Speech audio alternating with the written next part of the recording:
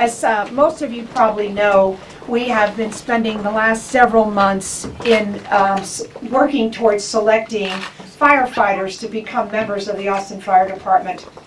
And just recently, uh, we received some notification that uh, part of our process may have been compromised. And the portion that we are talking about here today, that we're here to talk about on that entrance exam, is that structured oral interview.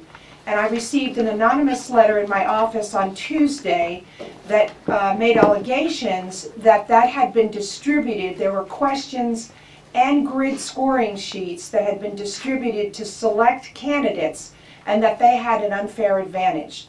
The only thing that we were able to do was to ascertain that it was actually a correct document.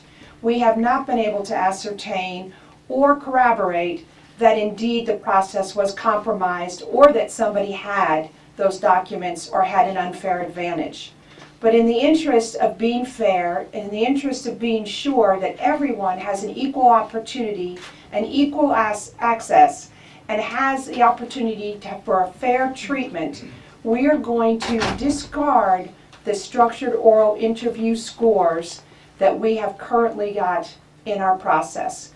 And we will start over again. Yeah, questions and the scoring grid would have been had access by about 58 people. Some of those were evaluators and some of those people were staff.